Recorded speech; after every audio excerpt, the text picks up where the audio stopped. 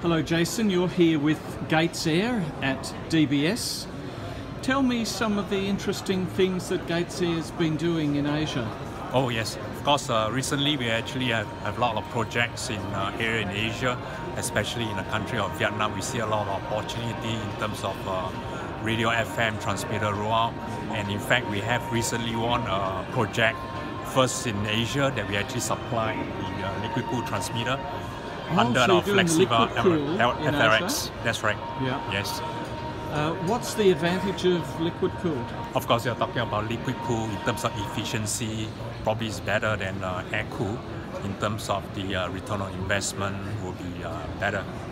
And of course, the price of the uh, transmitter capex will actually helps uh, customer to reduce their return on investment in the shortest possible time.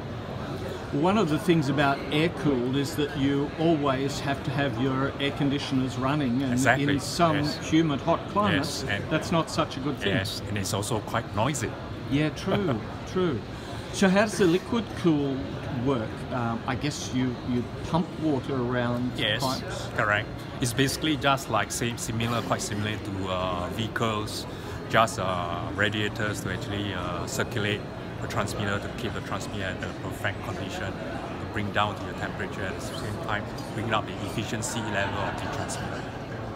All right. Well, congratulations on those sales, and um, I'm sure they'll perform well for those broadcasters. Yeah, sure. Thanks. Thank you.